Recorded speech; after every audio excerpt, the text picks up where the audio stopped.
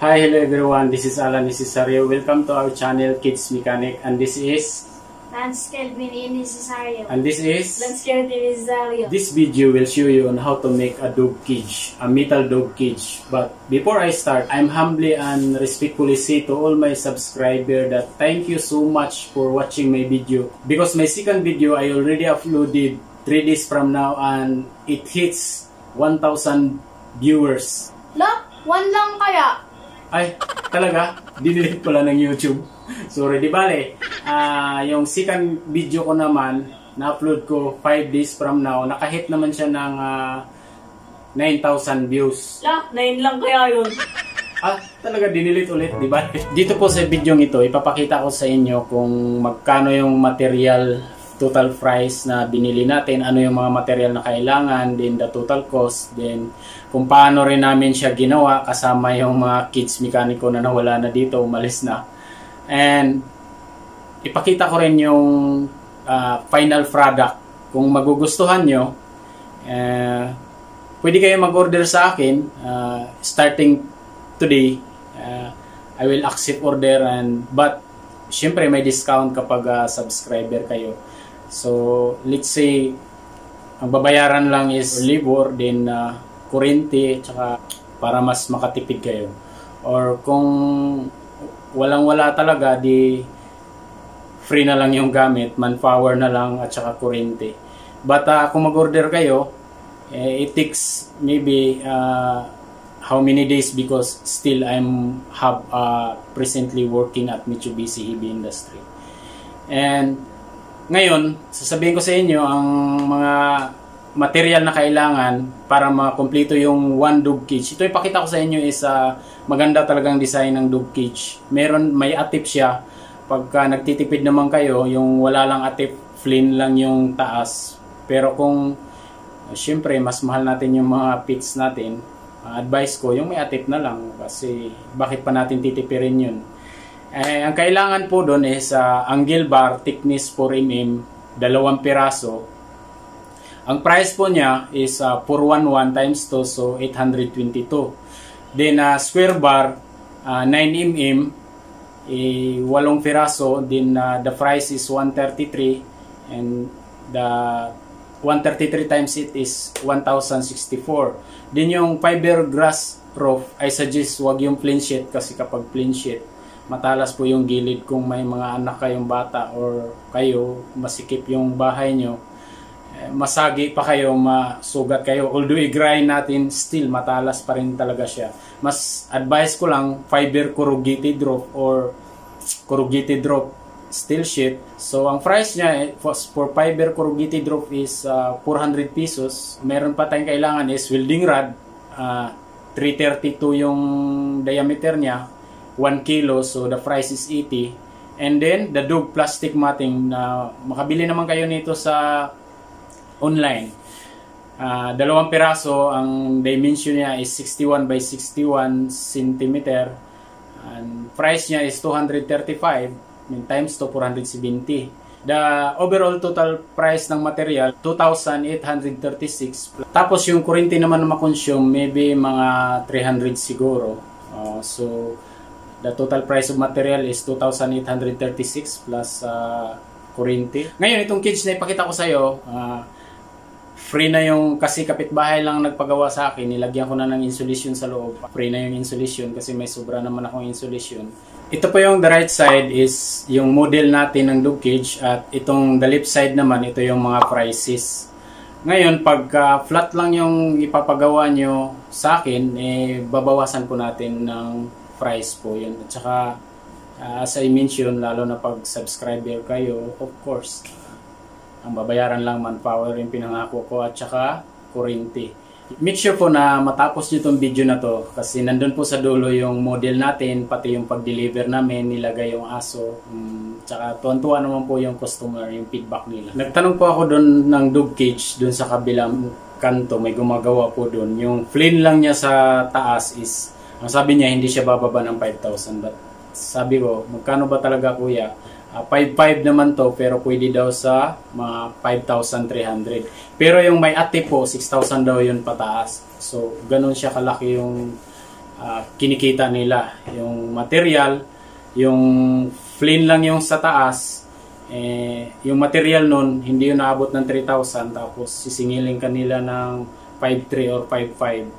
So, yung tubo nila mga 2,000 na ipalagay natin 2,300. So, kung dito kayo mag-order sa akin na libor lang po babayaran, uh, usually pag marami volume yung order, 700 lang yung labor din material nyo lang at saka yung kurente. Yung mga gamit, hindi na po natin cha-chargean yun ng ah, ah, renta. Kapag ka plain lang naman, mas mababa lang po yun kasi mas madali gawin kaysa yung ah, may atik po siya. Bago po natin ipapakita yung video at saka yung final product natin. If you think that this video will give you full information and knowledge ideas on how to make a cage, uh, please don't forget to like, subscribe, and click the button so that you will be notified for my next video. Uh, usually, my next video is uh, how to scrap the aircon or tutorial on how to use KineMaster and extracting videos from KineMaster to your PC or laptop. Uh, because usually, uh, ganyan po yung nakita ko sa mga tutorial. Hindi po siya kompleto, putol-putol siya. Uh, ngayong ginawa ko na siya, na, kailangan kong buksan ulit o maghanap ng mga video. Paano na naman to? Paano gagawin? Paano gagawin? It takes me a long time to uh, understand the whole process. But uh, for me, kasi gusto ko mas marami tayong vlogger, mas masaya or marami tayong YouTuber. So, I my in my feelings, I want to make things simple and easier to everyone.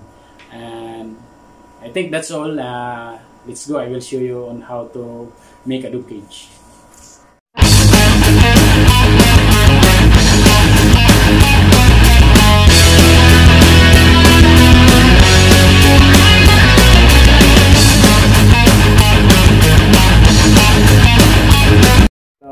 Good afternoon guys. Ngayon gagawa tayo ng kulungan ng aso. Ah, ito yung uh, apakan ng aso. Yung binili ko nyo ng kalsada. Yung gagawin natin. Ito yung mga gamit para sa kulungan ng aso. Meron tayong uh, grinder, label, meron squala, meron uh, piston. Ang tawag nito to piston or uh, steel marker. Meron tayong welding machine. And now, uh, ang assistant ko ay ang pinakagwapong si Kelvin and Kenneth later on. Hello. Yung labor ko, since uh, kapitbahay ko lang naman, baka sinilin ko lang siguro ng less than 500 o 500. Usually naman yung welder 700.